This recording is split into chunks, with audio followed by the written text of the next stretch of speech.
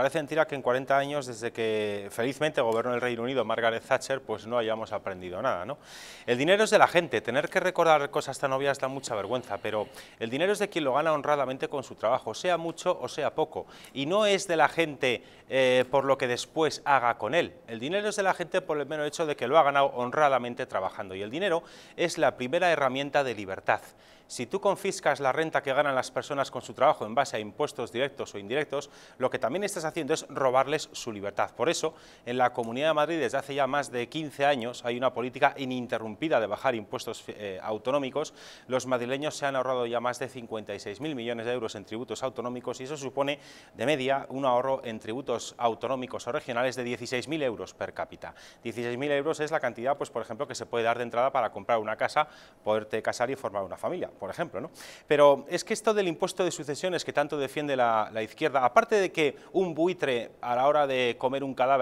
tiene más dignidad que los que pretenden cobrar el impuesto de sucesiones, es que es triplemente confiscatorio, no solamente por todas las figuras fiscales que han aludido don Daniel Lacalle y don Roberto Centeno, es que queda otra figura fiscal en el caso de heredar inmuebles, que es la maldita plusvalía municipal. Yo conozco amigos que por desgracia ya han tenido que enterrar a sus padres, han tenido que afrontar eh, ese dolor a la vez que todos los tributos a queda lugar. Y si bien el impuesto de sucesiones en Madrid está bonificado al 99% para herencias de padres a hijos, sigue siendo inevitable pagar el impuesto de plusvalía municipal por heredar un inmueble. Don Daniel Lacalle decía que, claro, es que tú heredas un inmueble que los poderes públicos te tasan en 800.000 euros según su criterio y tienes que pagar el impuesto de sucesiones, pero es que luego también encima tienes que pagar la plusvalía por heredar el mismo inmueble. Entonces, eso, eso si no es una doble imposición que se supone que la Constitución